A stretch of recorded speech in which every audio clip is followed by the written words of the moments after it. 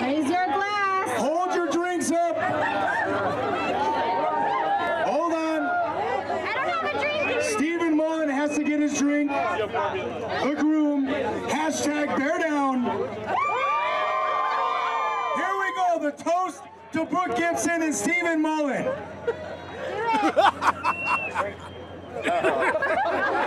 Here's to the groom with the bride so fair, Brooke. And here's the bride with the groom so rare, Steven. Here's to a grand race park setting. Here's to Tucson's first and best wing wedding. And here's to Rillito Park for hosting and letting, letting us crown the Lord of the Wings. As everyone feasts and the married couple sings. Sings with bands like Brooke Sample and the Grind X. So Brooke, don't forget, after this toast comes marriage and sex. Heck with the honeymoon, go for it now. 30 beers are flowing. We sure know you know how. So raise up your drinks. Steven, you're a lucky dude. Time for a toast. Drink. Salud. To marriage and the Lord of the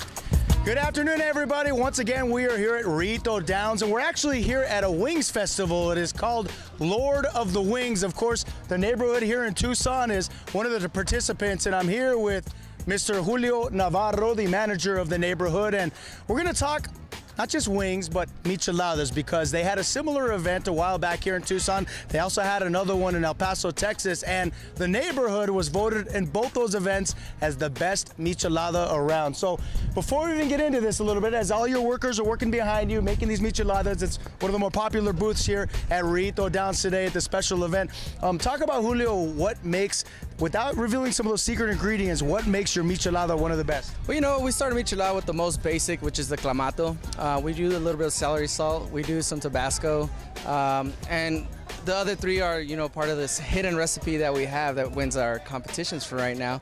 But um, most of all is uh, all of the, the, freshness. We make it fresh every day. Uh, we never have an old batch. We just every day it's made fresh. If there's none at the end of the night, we make some, and we make.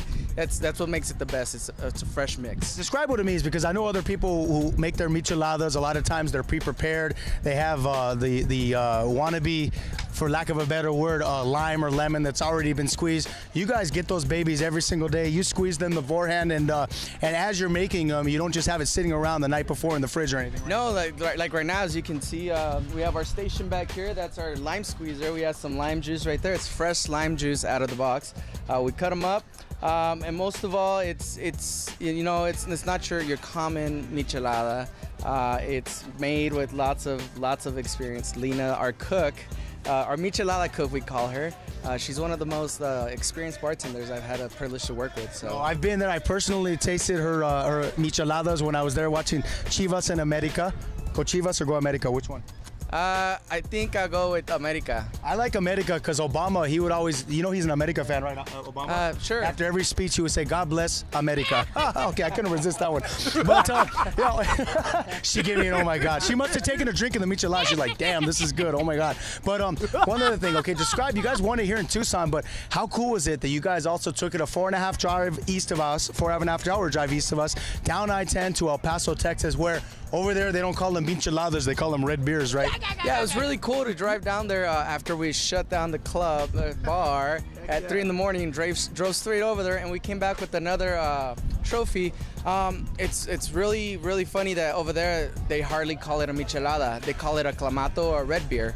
Um, they don't put any of the stuff that we do, any of the seasoning. It's very basic, but it's called a clamato or a red beer. Listen, I don't want to rack on El Paso because I lived there for four years and I um I adore the city and I adore the people of El Paso and Juarez. But that's one thing I, I really found I was in awe because I would order a michelada and they would be like, "What's that?" Pues me da un red beer, and they'd be like, "Oh, red beer, okay." But it's weird. You would figure a town that's right on the border of Juarez you know, you wouldn't say it's like red beer, and they would laugh at me when I would say michelada. And then when I'd bring saladitos, they don't have saladitos. There, that's something truly from this region of Sonora, the Sonoran Desert, Sinaloa and Sonora, and of course it transfers out here to Tucson, Arizona. Really quickly, if you don't mind, John, get a close up of those babies right there. And I, I just want to make my own comment. I know you can't really reveal the secret ingredients, but I can't say the chamoy and the uh, obviously the Japanese nuts definitely that sounds bad, but they they make a major difference in there. And of course, they have the tamarindo, which to me I think adds a lot to it, and of course the chile, the classic ingredients of lime as well. Lots of lime, that's important. Of course, they have the celery as well, and before I continue on with the ingredients, this baby right here, Tucson Michelada Challenge, first place, TCC, July 16th, 2016. I had the honor of actually emceeing that event. I feel proud about that. And here is the one right here, Tucson Michelada Challenge, first place, the people's choice. So not only did they win with the people voting, the people that were out getting drunk, having the drinks, but also some of those hidden judges as well. And they won in El Paso, El Chuco town uh, again. And of course, let's see the let's see you to be the judge of that. Let me be the judge of this. Okay. Salud. I'm gonna get the real ingredients. I do say so myself, but I have this is a home court advantage, so to say, because I admit I've been to the neighborhood before. I have it a drink when I've been there watching a game, and it's um tastes just as good today.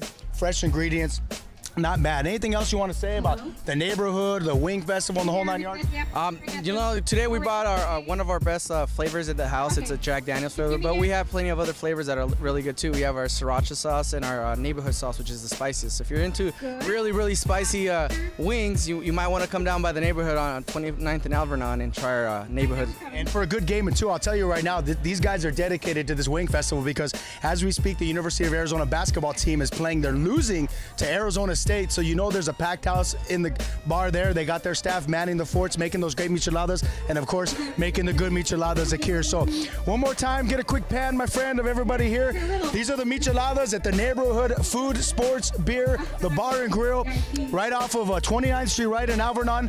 Uh, you can't beat it, and if you haven't had these micheladas, they've already been crowned the best in town. We're gonna find out today if the neighborhood can place themselves with the wings as well for the Lord of the Wings. Reporting here from Rillito Downs alongside the neighborhood bar and grill stand, Paul Cicala. Have a good one, my friends, and of course, Clamato style, Tucson style. Salud.